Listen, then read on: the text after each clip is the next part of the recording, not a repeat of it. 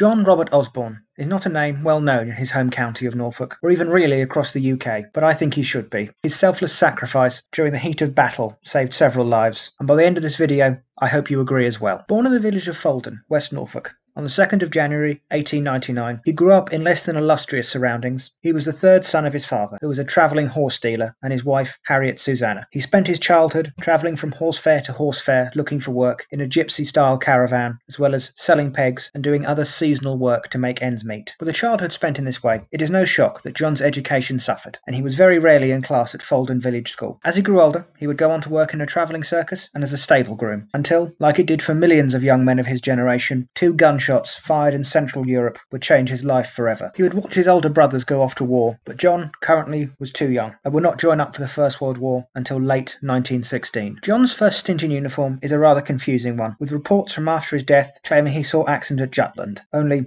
this battle took place several months before he even enlisted, as well as him seeing action in France and Russia with the Royal Naval Division. Others claimed he was wounded at the Battle of Cambrai on the 2nd of March 1917. But this was most likely another John Osborn, as he would probably have still been in training at the time. Of course, like so many others of his generation, John talked little about his experience in the war, and even his own sons were unable to shed much light on what happened. He said he was taken prisoner and wounded, but escaped after two days and rejoined his unit. He had bullet wounds and shrapnel, scars on his right forearm and right leg. He was evacuated and on release from hospital sent as a reinforcement to the Western Front, where he became the casualty of a mustard gas attack. However, from what records exist, the truth appears much more prosaic. There is no evidence to suggest he was ever in Russia or at Jutland. What can be determined is he was a member of the Royal Naval Division, division that was originally formed from Royal Navy and Royal Marine volunteers in 1914 who were not needed for service at sea. And they had served in the Siege of Antwerp and the Gallipoli campaign. But after losses, they were handed over to Army Command in 1916, where they were officially redesignated the 63rd Royal Naval Division by the time John had joined their ranks. He would join the Hawke Battalion in February 1918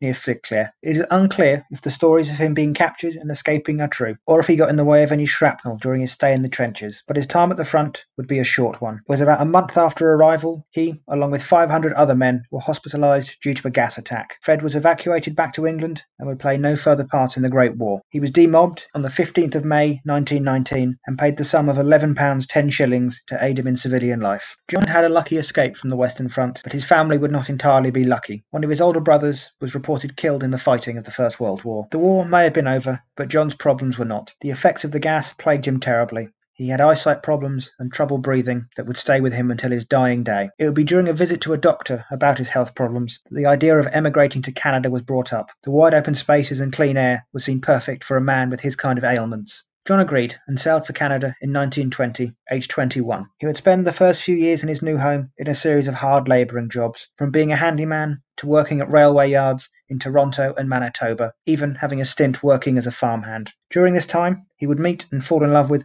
Margaret Elizabeth Nelson, who he would marry and have a family with. His time at farming would come to a tragic end after an accident, which would force him to spend the next couple of years working in just dead end jobs trying to support his family. It really was the love he had for his family that kept him going. His wife would often tell how John would even take extra jobs scrubbing floors just to make a little bit more money to support them with. It was his need for extra funds for his wife and children that would lead him, despite his health problems, to re-enlist in the military in 1933, joining as a militiaman in the Canadian Militia, the equivalent of the modern-day Territorial Army or Reserves. Despite his list of injuries and illnesses picked up in the trenches or during his working life, John flourished in the Winnipeg Grenadiers, he was a tough man who never let his ailments slow him down. He was a stickler for discipline, and with his past experience, soon became a model soldier, being promoted to Company Sergeant Major in only a year. On the 10th of September 1939, Canada would officially enter the Second World War, declaring war on Germany and her allies and the country began to mobilise their forces 4,500 regulars and 51,000 reservists. John, among them, waited for word of where they were going to be sent. The 1st Canadian Infantry Division would sail out for Britain in December 1939, and after the fall of France in the spring of 1940, would be the only fully equipped infantry division in the country until the arrival of the 2nd Canadian Infantry Division that summer. John's first posting was to the Caribbean for a time, before the British and Canadian government decided they were more desperately needed elsewhere. Rather than going to Europe,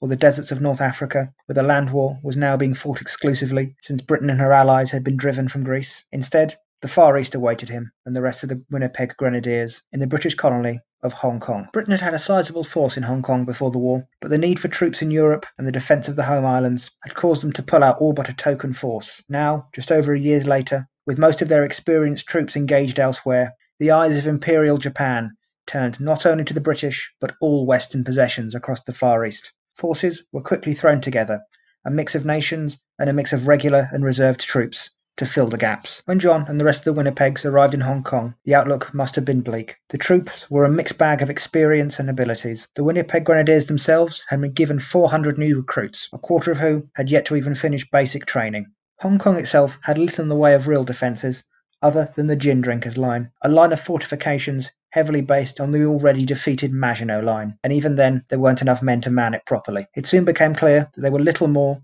than a token of resistance, who would not last very long if the Japanese came. The 1st Battalion of the Winnipeg Grenadiers were formed up with other Canadian units, most notably the Royal Canadian Rifles, into what was called C Force. They'd only been in Hong Kong for 22 days when the Japanese launched their massive assault across the Pacific. The date was December the 7th or 8th, 1941, most famously known as the date that will live in infamy for the attack on the US base in Pearl Harbor. But this day also saw the Japanese attack Wake Island, Midway Island, Guam, the Philippines, the Malay Peninsula, heading for Singapore, Britain's prized possession in the Far East, and of course, Hong Kong, where a scraped together international force of Canadian, British, Indian, Free French, Chinese, and local Hong Kongers, numbering around 14,500, faced off against an invading army of 30,000 Japanese. The defenders of Hong Kong did get a little warning from Chinese refugees entering the territory on the 6th, telling of the build-up of Japanese troops, but they were still not ready for what came. Two days later, the attack began, starting with an air raid that killed two Royal Canadian signallers. C Force was initially stationed on the south side of the island in case of amphibious invasion, but the Japanese came from the north. C Force soon found themselves being sent into the counterattack. John Osborn and the rest of A Company, 1st Battalion, the Winnipeg Grenadiers, were placed in reserve. Commanders had hoped the gin drinkers line would hold for at least a week, but for a number of reasons, the Japanese overran and captured it all in less than three days. On the 11th of December, the Winnipeg Grenadiers were going to combat. They were the first Canadian Army unit to do so in the whole war, with D Company covering the retreat from Kowloon. In the chaos and confusion of these days, the Winnipegs would find themselves defending the crossroads at the Wong Nei Chong Gap, with A Company tasked on securing Mount Butler that dominated the nearby area at 1,421 feet tall. But the order didn't reach them in time, and the Japanese had occupied the summit. A desperate uphill battle began. An attack under heavy fire up a steep slope covered in trees and bushes in dawn light. It's no shock that only 80 men made it to the top in force. Led by Lieutenant MacKillop, but even he would lose his way before reaching the summit. The attack was in danger of petering out when Sergeant Major Osborn took charge, leading the final rush, taking the hill, bayonets fixed, sending Japanese troops on top fleeing for their lives. They had successfully taken the hill, but now they would have to hold it. John Osborn and his around 80 men would fight off wave after wave of Japanese attacks from up to three whole companies. The fighting at times was even hand to hand, with rifle butts, bayonets, knives, boots, and fists. Osborn's 80 soon numbered much closer to 30, but still, they would hold their position for three hours before getting orders to pull back as they were in danger of being cut off. During the withdrawal from Mount Butler, more men fell, and John would put himself in danger time and time again not only guarding his little band back, but finding men lost in the first attack and sending them to safety. Despite the bravery of Osborn and his men, the Japanese were soon closing in on them, and their ammunition was almost gone. Osborn and around 12 men became hemmed in in a fold in the ground. Among them was Lance Corporal William Bell, who later told of their little battle. The Japanese were all around us. The enemy fire was terrific and our ammunition was running low. We received a barrage of rounds from the enemy mortars, grenades, small arms, and machine gun fire from all angles. Even with the odds against them, they would repulse a further two attacks before the Japanese changed tactics and began to throw grenade after grenade into the Canadian position. John Osborn picked up and threw back at least two of these at the attackers. He was in the process of working out how to get his men out of this situation when a further grenade landed among them. There was no time to throw it back. John pulled a nearby sergeant out of the way and threw himself on it. The blast killed him instantly and wounded Lance Corporal Bell. But without his sacrifice, many more would have been killed or wounded.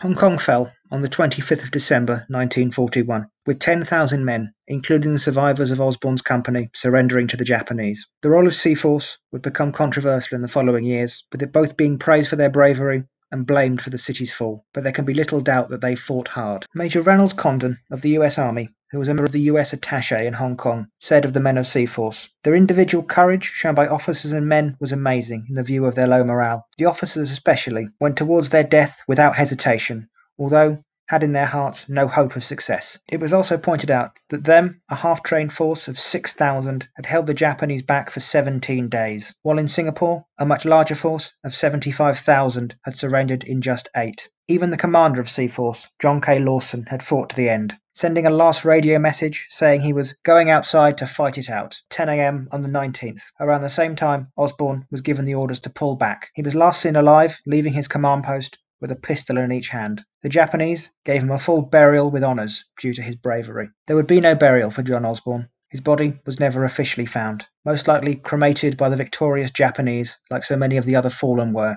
and his heroic deeds would remain unknown until the end of the war and the liberation of the men who had fought beside him. He would posthumously be awarded the Victoria Cross, the highest award available to members of the British Armed Forces and Empire troops at the time, on the 2nd of April 1946. The citation in the London Gazette, the paper where all VCs are announced, read At Hong Kong, on the morning of the 19th of December 1941, a company of the Winnipeg Grenadiers, to which Company Sergeant Major Osborn belonged, became divided during an attack on Mount Butler, a hill rising steeply above sea level. A part of the company, led by Company Sergeant Major Osborn, captured the hill at the point of the bayonet and held it for three hours, when, owing to the superior numbers of the enemy and fire from an unprotected flank, the position became untenable. Company Sergeant Major Osborn and a small group covered the withdrawal, and when their turn came to fall back, Osborn single-handedly engaged the enemy while the remainder successfully rejoined the company. Company Sergeant Major Osborn had to run the gauntlet of heavy rifle and machine gun fire. With no consideration for his own safety, he assisted and directed stragglers to the new company position, exposing himself to heavy enemy fire to cover their retirement. Whenever danger threatened, he was there to encourage his men.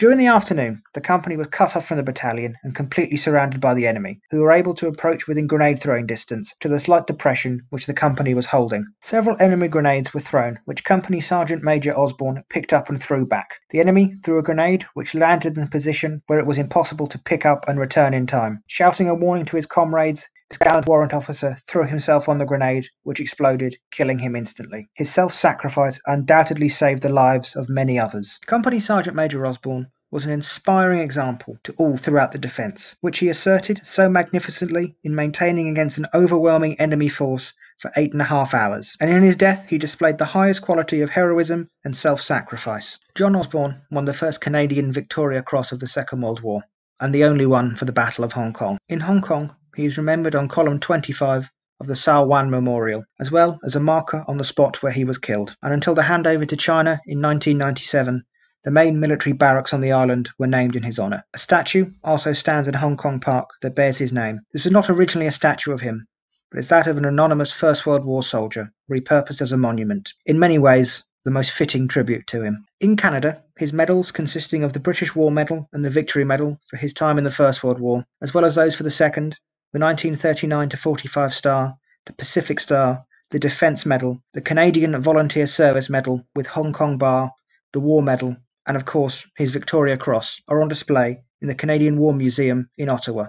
There is a plaque bearing his name and deeds at Currie Barracks in Calgary, and there are several units in all branches of the Canadian military named after him, as well as several streets and buildings. He was also the subject of a Heritage Minute, a series of short films telling moments in Canadian history made in 2005. A link can be found in the description to it. It isn't a particularly accurate retelling of events, but by all means, please watch it if you wish.